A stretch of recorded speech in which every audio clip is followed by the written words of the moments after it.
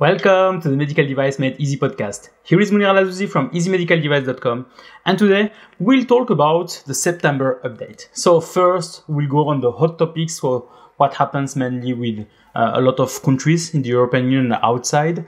Uh, we'll also go to some uh, key events that will happen uh, this month, so September and October.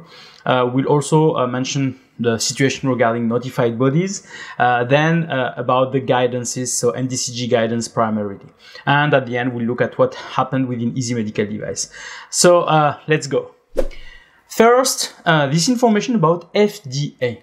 So um, in the US, there is a, a complete shift uh, in terms of the regulation for some specific products. So those products were drugs before, and now they will have to move to devices. And this will maybe change the entire industry. So it's important to, to listen uh, about that. So um, this is mainly an F- FDA, uh, uh, so FDA lost a court uh, battle against Genus.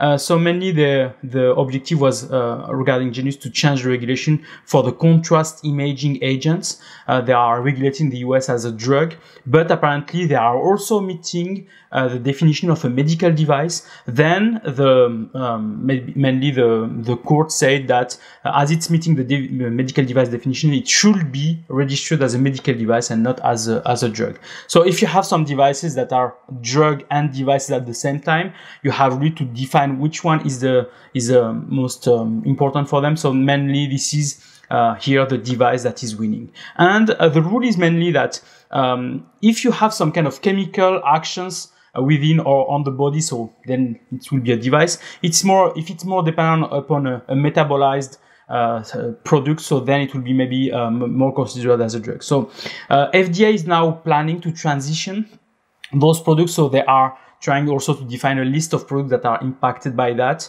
uh, and they will communicate that list. They will also try uh, what they are saying mainly. They will also try to uh, make it easy for all the manufacturers to transition to not have any disruption on the market. So you can go on the show notes to read the article about about that. Then we move to Germany. So Germany uh, is alerting us uh, that there is uh, a potential issue of, of vulner- vulnerability related to some, some real-time operating systems. Uh, so it is interesting because this is an alert coming from the US mainly. Um, so um, the US agency, so the Cyber Security and Infrastructure Service Agency, um, emitted an alert and apparently only BfArM in Europe just alerted about that. Uh, so this is mainly some um, some devices that are using some of those uh, real-time operating system uh, like uh, QNX or VxWorks, but there is a full list of those systems that are uh, on the on the BfArM uh, notification, and you can have that on the on the show notes. So there is apparently some critical vulnerability in those systems, and the medical device manufacturers will have to issue to make some some updates. And if one of those issues is really impacting the market, they will have to issue an F, a field safety corrective action and inform uh, the BfArM about that.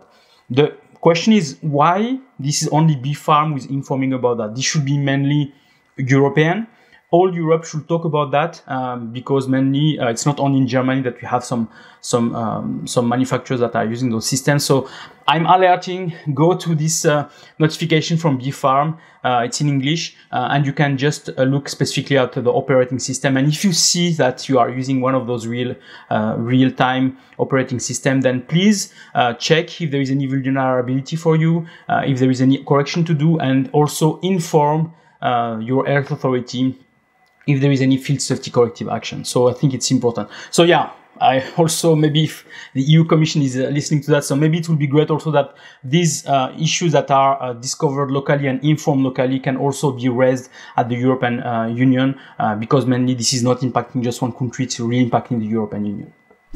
So France is anticipating some uh, disruptions of uh, products on the market, some uh, medical device products on the market, and they have uh, issued a new procedure for uh, those uh, companies that are um, seeing that there will be some issues. they are mainly having a procedure that will be applied from September 1st, 2021. mainly there is some preventive action that you have to do. You have to check. I mean, they are also already alerting, say, be careful of your stocks and be sure that everything is fine But they are mainly talking about products that are really essential uh, to the healthcare uh, system. So mainly um, there is no definition. So what is an essential product is mainly something that is uh, maybe defined by them. But then they are alerting and saying if you have any disruption, so alert us. And they have defined a decision tree. They have defined also some uh, form that they have to fill. So many it's it's targeted to the kind of purchasing or uh, departments that are the, the ones that are buying products, for example, from health healthcare facilities or from manufacturers that are also uh, maybe uh, aware of these disruptions on, on the market. So um, everything is in French. I didn't find uh, I didn't find if there is a, any thing in English. But if you are French, if you are in, in France and you are selling your products in France, uh, if you see that you have any disruption of the market uh, of your products on the market, then please uh, go. it's also on the show notes. Go to the link on the show notes. You'll have the process. You'll have the forms. You have the decision trees that you have to to go through. So this is applicable from September 1st, 2021.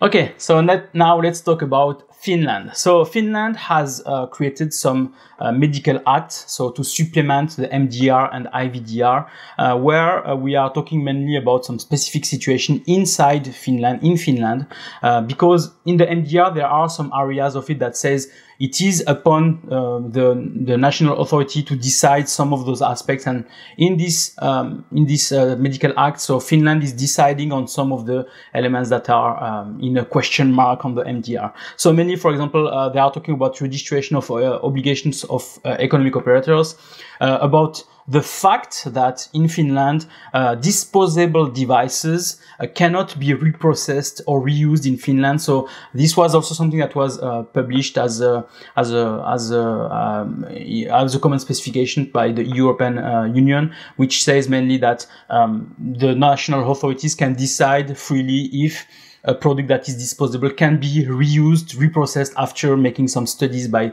the healthcare facility, etc. So Finland says no, uh, a disposable, it's disposable. So we are not authorizing our healthcare facilities to decide and to then move to uh, reprocessing some disposable devices. Uh, so you have also here uh, some information about the operator supervisory, supervisory fees. You have the language requirements. So apparently Finnish, Swedish, and English is authorized, but if there is some alerts on your uh, device, some uh, issues, some warnings, this should not be in English. So this is mainly something that is mentioned there. So if you are selling your products in Finland, then uh, please read that because it's mentioning a lot of important things for you. Uh, and it's also talking about IVDR. So mainly uh, the medical act is also, there is a second medical act also talking about IVDR. And here uh, the elements that are mentioned there are partially available because mainly um, IVDR will be in place by May 26, 2022. So uh, this is something that they are uh, anticipating. Maybe there will be some updates also uh, after that. But if you are selling your products in Finland, these are some medical acts that you have to read to understand exactly what are the rules for MDR and IVDR in Finland. Okay, now let's go to the UK. So UK, uh, they have made a small update about uh, their way to do, uh, yeah, free sale certificates uh, for the exports, So to issue a free sale certificate. Um, so mainly, what I wanted to mention here is the fact that, um, yeah, um, there are um, some ways or some rules related to the ordering of free sale certificates. I take this example of UK, but this is mainly also for all the European Union, uh, where uh, only a UK-based manufacturer a UK responsible person or authorized representative in Europe, or uh, here in the UK, a Northern Ireland based authorized representative can order a free sale certificate. Uh, so this costs in the UK, for example, 75 pounds uh, up to 10 for to take, uh, and it can take 10 days, uh, working days to, to get that. So, um, as I've said, it's nearly the same in all the European Union. Uh, I had a lot of calls from companies importers, distributors outside of the European Union that are saying, okay, can you help us to get a free sale certificate? Uh, we are selling our products in Mexico, or in Germany, uh, in uh, Argentina, or uh, in Asia, or wherever. And they say, but the authorities wants to see a free sale certificate from Europe which make it makes it easier for them then to sell their products. And the point is, um, I am not the authorized representative for the manufacturers that are uh, delivering those products in Europe. Uh, I am, yeah, so this is not possible for me to order a free sale certificate, uh, unless there is maybe some special rules in some countries. But in the countries I'm working with, so uh, each time I'm, uh, you look at, at the designation, they say, are you a manufacturer or the authorized representative? Uh, maybe some are asking for importer directly, but me as a person that is not on this uh, logistic area, I cannot do that. So it's the same here. If you are in need of a free sales certificate, go directly to, uh, if you are an importer and distributor in a certain country, country go directly to uh, your uh, manufacturer. They have to initiate that, or this manufacturer will contact its authorized representative to initiate that. So uh, this is also something that is really important for you to understand, so that you understand how, if if if your business can work, if I can say, with uh, with or without these free sales certificates. And then we go to Switzerland now. So Switzerland, uh, we are still in Swixit. Uh, there is still no contract or agreement uh, under the uh, with between Europe and, uh, and Switzerland. So we still consider Switzerland as a third party country.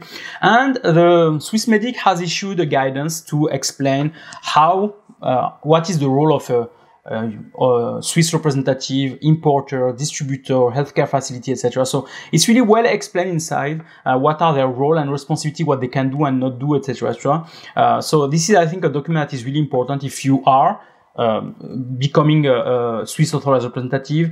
Also, if you are an importer, so remember that it's the same as in the European Union.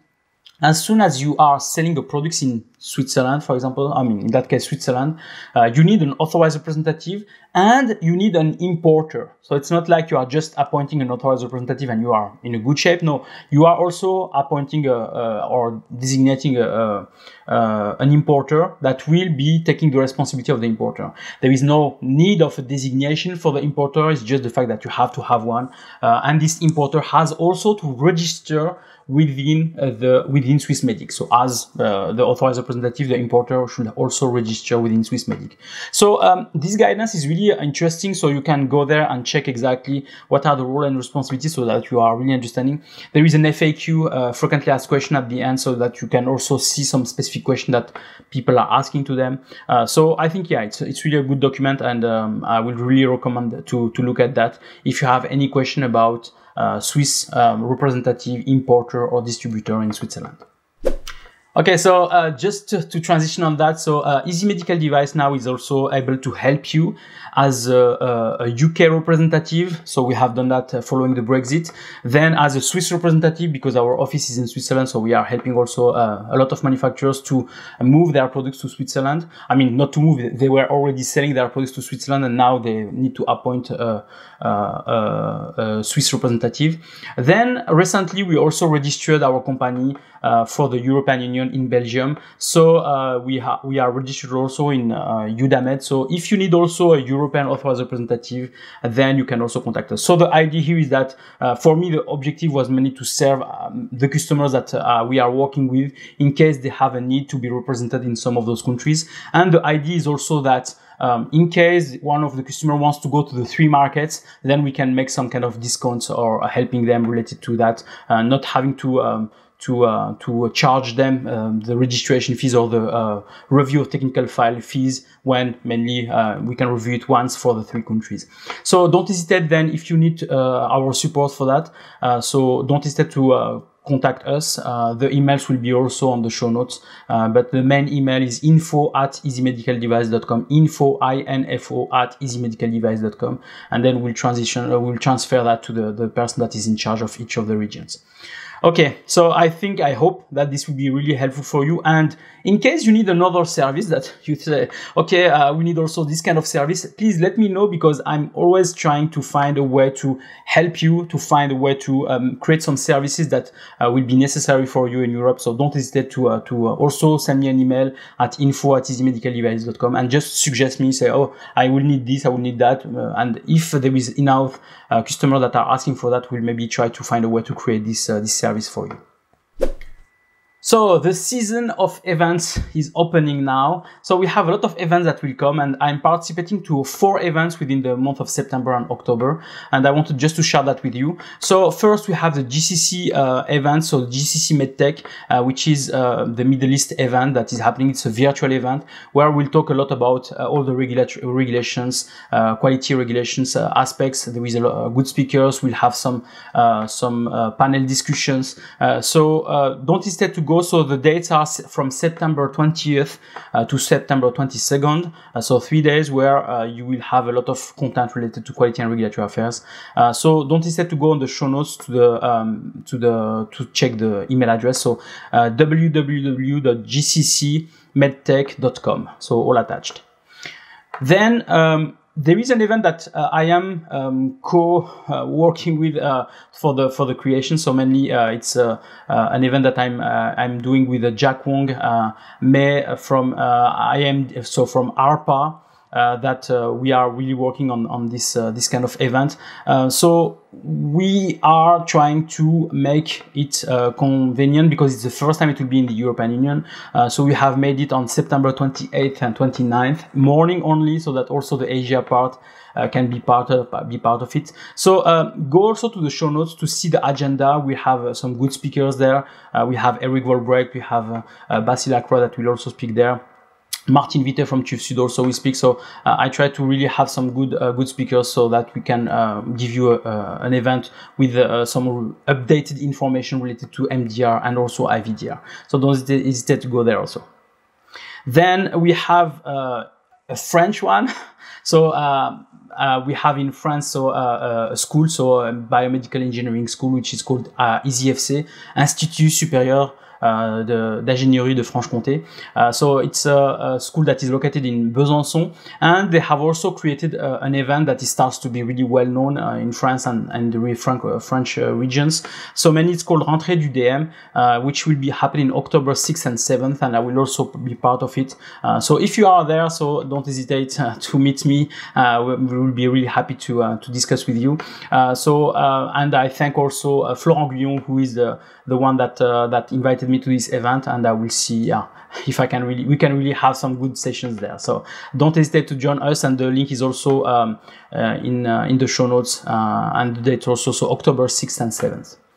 Then the last one will be the MedTech Virtual Summit, uh, which will be happening in October 18th and 22nd, uh, where we'll also discuss. I mean, a lot of good speakers are also going there. So uh, just look at the agenda, look at the at the program that is there. So um, mainly uh, all those um, events will be there uh, in the show notes. Uh, so for those events i will be speaking. Um, if you want to see my my the, the talk that i will do uh, be providing so go to the the links. But mainly yeah we'll really talk about all the new updates. We'll talk about brexit swixit uh, we'll talk about uh, a lot of things related to regulatory compliance. So um, i think it will be really a good events and good updates also for you. So don't hesitate to join us Okay, our favorite topic now. So notified bodies. so we had a new notified body uh, that was uh, accredited not for MDR but for IVDR, which is GMED. So GMED is already appointed for MDR, um, but now uh, recently they were appointed for IVDR, which is good. So now we have 22 notified bodies for MDR and six for IVDR. I remember, yeah, recently it was like four, then five, now six. So I hope there will be more because, uh, as we've said, so uh, IVDR is coming soon, so the 26th of May 2022. Uh, then uh, a lot, nearly 90%, 95%, let's say, of the products are transitioning from self-certification to notified body certification. So it's really huge. So it means that nearly all companies that are delivering uh, in vitro diagnostic um, products will have to have a notified body. Uh, so you have, you cannot, yeah, you cannot go away from that. So, uh, and nearly uh, there is no transition period because uh, mainly if you go from self certificate to, uh, to, to this, so mainly it's immediate from the 26th of May 2022. So please, um, yeah, move forward with that try to have your notified bodies try to have your certifications uh, so that mainly you are ready for the 26th of may 2022 okay let's go now to guidances so we had three MDCG guidance that were released uh, this month, um, in the month of August.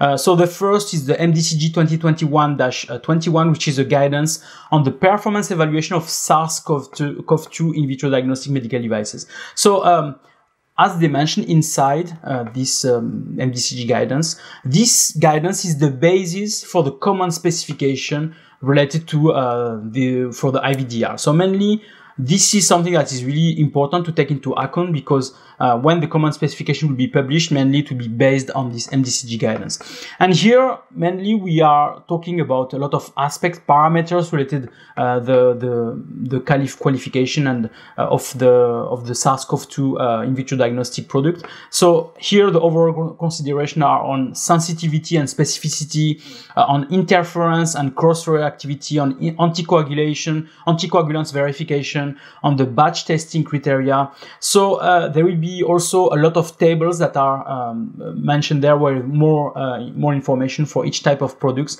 So if you are in this business of having some tests for uh, COVID-19. So uh, I think this is something that is really key for you to read uh, because if you want to continue your business after when the uh, IVDR will be in place, uh, this is mainly what you have to follow uh, for IVDR. So this is really important. So this is also on the show note. Go there and just read it. The next one is MDCG 2021-22, which is um, a long text, a long text, this one. So uh, clarification on first certification for that type of device, which is in bracket, and corresponding procedures to be followed by notified bodies in the context of the consultation of the expert panel referred in Article 48 of uh, EUMDR. So um, mainly here, this guidance is specifically um, for notified bodies on uh, no uh, on IVDR. Sorry, uh, so for notified bodies to decide uh, is your class D device does your class D device need to go to an expert panel. You know that uh, for performance evaluation, you have to go through uh, some expert panel for reviewing. I mean, the notified body is reviewing the, the products and then it has to decide to go to an expert panel. And here it says to you that there is two criteria to decide. First, is there a common specification that is published? If the answer is no, then the second criteria is where is uh, is this the first certification for this product for this type of product? Um, so mainly here it, it helps you to define um, what are we talking about type of products, first time of this type of products, etc. Because uh, maybe you have a similar type of product that was already certified before, and this is a new version, but it's nearly the same, but it's not maybe the first time, etc., etc. So here it's really clarifying. But first, if your product has a common specification, uh, then you can already say, okay, it's fine. Then no need to go to an expert panel. Uh, if your product doesn't have a common specification, then mainly uh, if it's the first certification, you'll have to go to the expert panel. But uh, as I said, read carefully this uh, this guidance so that it gives you exactly the, the, the right definition and terms of what we are talking about here. And the last guidance which is an important one, which is uh, the guidance for notified bodies uh, related to distributor and importers uh, for Article 16. Um, so yeah, uh, uh, how to say dash four or something like that. 16 part, part four uh, of the EU MDR and IVDR. So mainly what it is. So mainly you, if you are an importer and distributor, um, if you can be considered as a manufacturer if, for example, you are changing the name of a device, if you are changing the intended purpose of a device, if you are changing a device that is already marketed, etc. So then you can be considered as a manufacturer. But if you are just translating the information that are provided with the device, uh, so one-to-one translation. If you are repackaging this also, then you are not considered as a manufacturer, but you still need to have uh, a notified body that is reviewing your quality management system and verifying that you are uh, doing good for, with that. So um, it's really, yeah, let's say strange when you read that because mainly, yeah, there was this confusion, or not confusion, but this clarification related to the fact that on the Article 16 it says that you have to have a quality management system which should be reviewed by a notified body. But the question was can a certification body be sufficient or should it be a notified body? Here, apparently, it should be a notified body. But now then the question is the fact that a notified body is selected per products, uh, so per type of products. And here it clarifies that yes, if you are distributing uh, pacemakers, so your notified body should be qualified for pacemakers. Then they are coming, they are auditing you, they are giving you a certificate speci- specific uh, to pacemakers, etc. But if you have another um, manufacturer, another person that is distributing through you, but it's a dental product, then um, so then they have to have all this notified body that they already appointed uh, is also qualified for dental products. Or if it's not, then they have to appoint a second notified body, uh, which is then uh, accredited for dental products. Um, so I see here it can be really a nightmare, I suppose, for some of the importer or distributors because at the end, the manufacturer will appoint a notified body to certify its products. Then the importer will appoint a notified body to have a qualification for his quality management system. He has to get also a certificate for that, uh, which is uh, something that is also uh, new, if I can say, to this uh, this market. And if this importer, which is an importer, so means that he can have multiple clients with multiple products, with multiple things, then he has to appoint, uh, if possible, a notified body that has really a, a big, a big scope uh, for its products so that any of his clients are under the same notified body, or otherwise he will have to appoint a second one. Um, the advice that I'm giving to importers and distributors, and maybe to manufacturers also, is um, try to avoid that by just for the manufacturers by just providing to your importers and distributors products that are already in the right language, in the right packaging, so that there is no modification at all. Because then you will yeah, help them a lot and it will create less burden for everybody. Um, because this is really, I, I, suppose by reading this guidance, it will be really a, a big a big burden for every importer or distributors that are doing these activities of repacking or of uh, translation. So if you want to avoid that, the manufacturers should take the responsibility to provide to you, if you are, for example, in Greece, uh, uh, documentation, packaging, all in Greek, uh, so that uh, everything will be fine for you, uh, instead of you having to translate, having to repack and do everything like that. So um, yeah, this is just an advice. So I'm not like here uh, doing this kind of thing saying that it's better. It's just an advice. If you want to avoid this situation, go on that route. I mean, go on the other route, mainly. Okay, now let's let's go to the easy medical device situation. So mainly, uh, we had uh, three podcasts uh, this month. The first podcast is um, what can we learn from the MDR audit. So we had that with uh, uh, Martin Witte from TÜV. So Martin helped us to understand what kind of issues are happening often uh, during an MDR audit and helping you to solve those issues before the auditor is arriving. So here, yeah, uh, you can go and, and check that on the show notes. Uh, episode 141, which is uh, better to be a consultant or a full-time employee. So we had uh, Smahan Tugrai from a tech firm who is a consultant who helped us to understand what is the advantage to be a consultant, what is the role and responsibility, uh, how are you welcomed when you arrive to your company, when it's a big company, a small company, etc., etc. So uh, this is really something that can help you if you are a full-time employee, for example, and asking yourself should I go for consulting? Then maybe this uh, this episode will help you a lot because yes, Mahan has some experience on that and and she provided really good advice for for you.